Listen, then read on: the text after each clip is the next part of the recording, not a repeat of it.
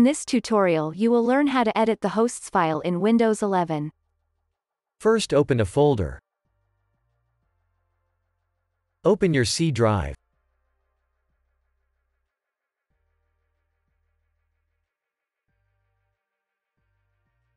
Open your Windows folder.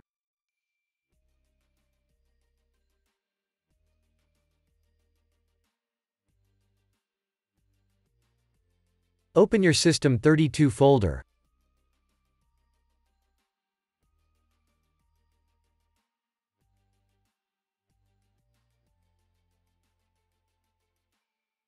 Open your drivers folder. Open the ETC folder.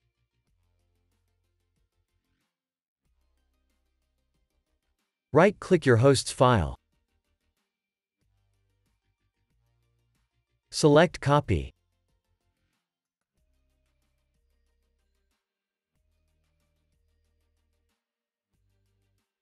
Right-click your desktop and select Paste. Right-click your host's files and select Open with.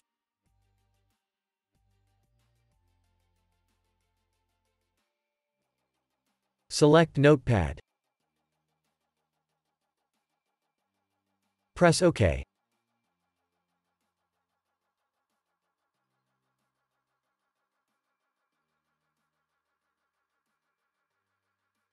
Now add your changes at the bottom.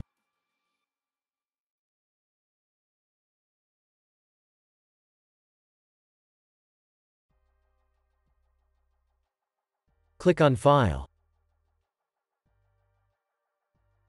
Press Save.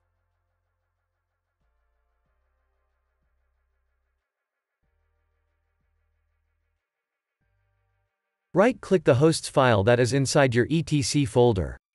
This will be your backup file. Select Rename. Add a 1 at the end.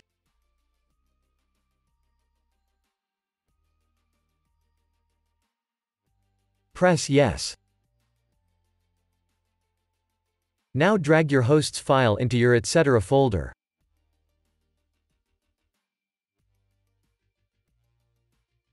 Press Continue. Now restart.